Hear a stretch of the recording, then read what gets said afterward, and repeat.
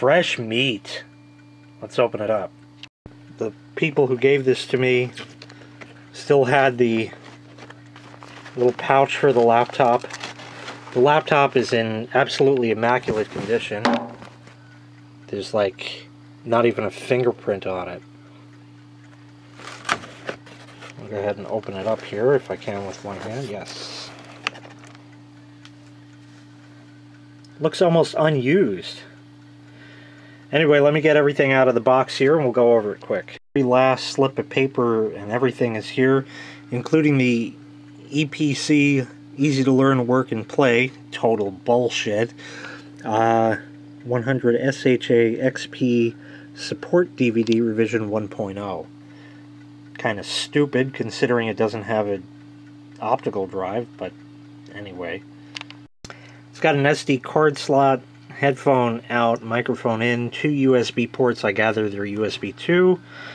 Uh, Ethernet port, nothing on the back. Other side has VGA, USB, Kensington lock port, and a really weird proprietary looking jack there for the power. Little RAM door here, and here is the information. This thing breaks, you're, you're totally up the creek. I, I don't know why they ever did that.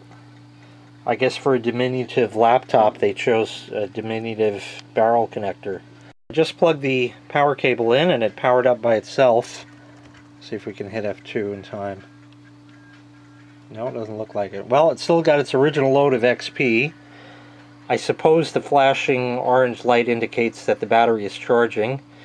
Seems to be loading up. Of course the power light. It also has these two buttons. I have no idea what that button is for. That one, of course, is the power button. And, and... Wow, it just worked. It's like, it's like it was wiped. And reloaded. This is awesome. It's got McCrap, you know, McCrappy on it. But wow, it just, it just absolutely works. Touchpad. It's a little wonky, but it works. So this is just going to be a quick look at this. Um, I'm going to reload the OS anyways if it has a recovery partition and try to make recovery disks should it have them. Specs on it, 1 gig of RAM and it's an Intel Atom N270 1.6 gigahertz. Pretty damn nice. Let's go to device mangler.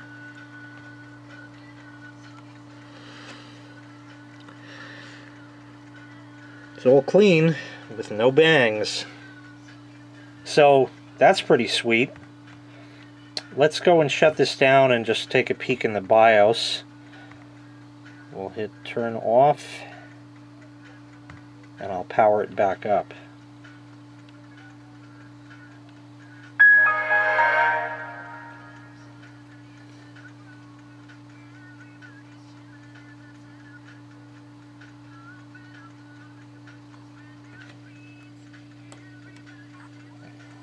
F2 for the BIOS. No, it doesn't like that kind. Great. Okay, hold the power button now. We'll try that kind again. Power on. Mash F2. Keep mashing F2. Now it likes it. Okay. Build date 2009. So this is uh, at this point seven years old. Time and date are wrong, but it's probably been disconnected for some time. Um, not much to see. There's a Seagate drive in it, 160 gig. We already know the processor and all the rest there. Everything else in here is fine. It's got USB 2. And everything in here is good. Security has nothing we need to do. Fortunately, no password. Boot device priority will change to CD-ROM, then removable, and then the hard drive just in case one is plugged in. Uh, LAN boot ROM I usually enable And I hate these boot booster pieces of crap if a machine has that. Rather, it completes its power on self-test like it's supposed to. That's probably why it faltered to begin with. There's the boot agent. I hit tab, but I guess I was too late. I think this is something like F9 or something. Let's see. We'll just keep mashing F9 for recovery. I'm not going to do it now because I don't have the time. This is just a quick look at this machine. Oh, looks like we got something.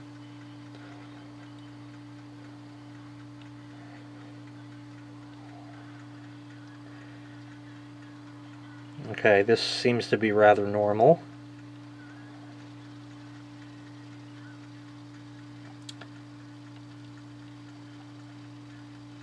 Yeah. Easy to learn, easy to work, easy to play. Eee PC. Easy. Could have been an easy PC, would have made more sense of these. So uh, it's got a yes or a run the fuck away! Reboot! okay, very good. Anyway, this is just a quick look at this. I have no idea what I'm going to do with it, but it seems to be in absolutely fine shape. Just to not cloud up the OS, I'll just go in the BIOS so we can power down. I'm not going to bother going into the boot agent because there's nothing to see there. And that's it power down, shut the lid. Uh, I guess we could see if it runs on battery. Let's try that before we go. And I guess we'll try the boot agent just for shits. Mm -hmm. Shift F10. Nothing to change there.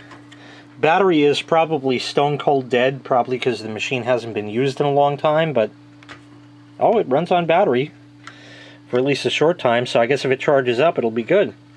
Anyway, that's going to do it. Just a quick first look at the Eee PC from Asus.